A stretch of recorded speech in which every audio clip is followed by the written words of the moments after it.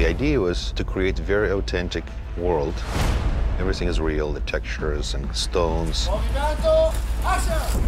We were in Matera for the first five weeks of filming, and it was used for all the exteriors. Matera is an ancient city in southern Italy. The visuals are absolutely stunning.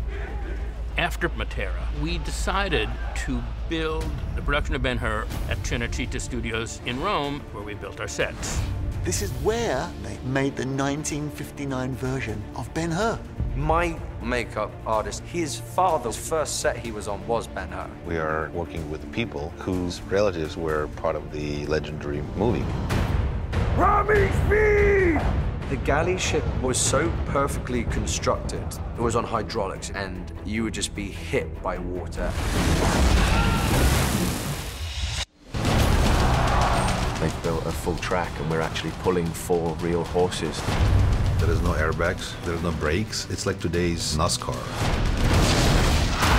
It's one of the most exhilarating adrenaline rushes you'll ever experience in your life.